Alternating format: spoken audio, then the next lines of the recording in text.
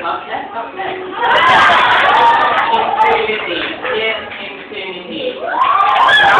translated as at the limit of what you can achieve if you tap your potential to the fullest is boundless.